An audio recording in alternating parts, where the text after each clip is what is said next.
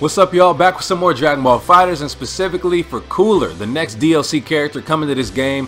Frieza's brother, we already know he's coming out. We had the trailer released at EVO 2018. I did my reaction video and all that good stuff to it, but we have details as far as a release date and some actual details on his special moves, courtesy of the latest V-Jump magazine.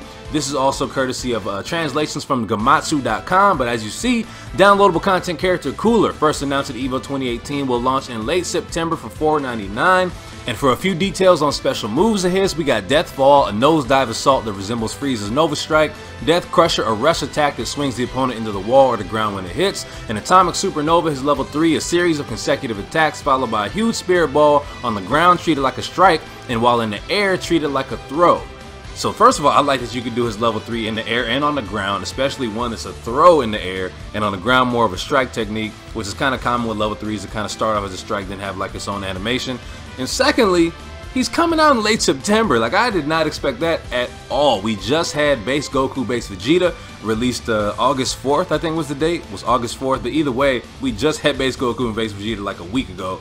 And then we're about to get Cooler next month.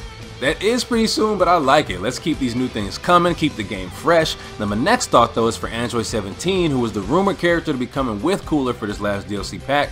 No mention of Android 17 yet at all, so I'm thinking maybe between now and the actual late September date when Cooler actually comes out, we'll have some sort of character trailer or some sort of reveal for him too, so they'll be coming together still. Or maybe it's just going to be a different type of rollout from Arc System Works and uh, Bandai Namco for this game. Maybe they're just going to have Cooler late September, and then in October they have Android 17, just like a quick follow-up.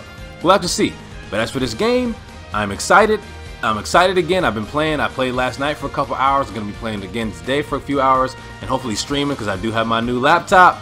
I got my new laptop, folks. I'm hopefully going to be getting back to streaming and uh, some of the other things I wanted to do for videos uh, more often because I have the actual hardware to do it. So with that being said, that is going to be it for this video, folks. I hope you did enjoy it. Hope you're excited for Cooler and all these new things coming to this game as much as I am. If you did enjoy the video, feel free to like it and subscribe to the channel because there's always much more content on the way.